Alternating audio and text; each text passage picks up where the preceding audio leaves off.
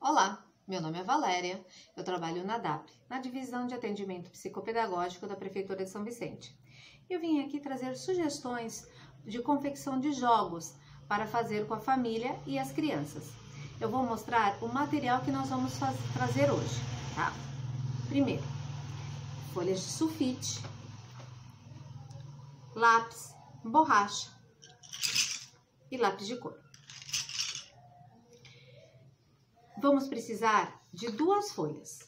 Vamos dobrar a primeira folha ao meio.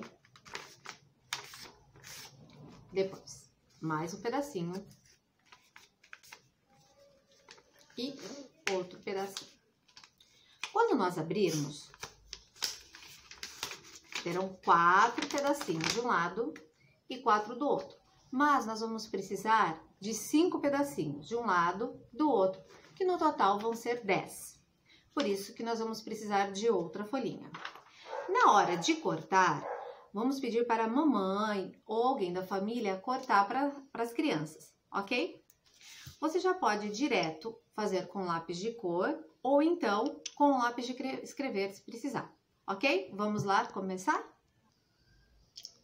Depois de nós cortarmos para as crianças, já estão aqui os papéis cortadinhos, vamos começar a escrever as letrinhas. Esse jogo ele é indicado para crianças de 6, 7 anos, no início da alfabetização.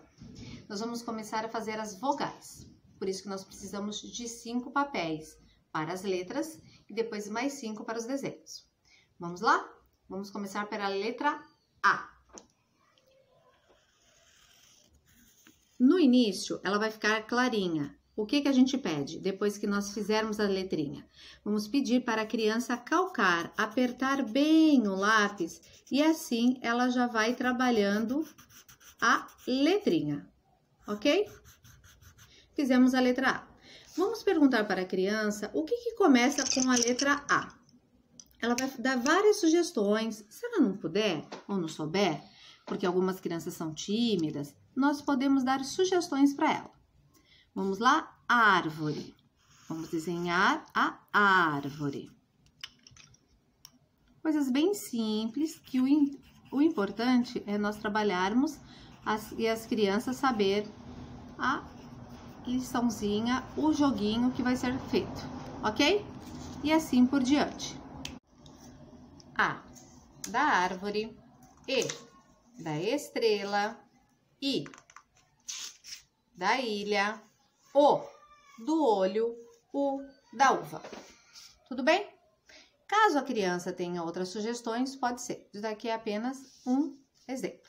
Vamos virar as letrinhas e os desenhos. Vamos embaralhar. E vamos sempre pedir para trabalhar com as duas mãozinhas. Se a criança escreve com a mãozinha direita, ela é destra, ela vai virar uma pecinha. O. O que, que combina com o? Vamos procurar a pecinha. Ilha, ilha e o, elas não combinam. Então, com a outra mãozinha, vamos desvirar a peça. A mamãe ou outro responsável vai virar a pecinha.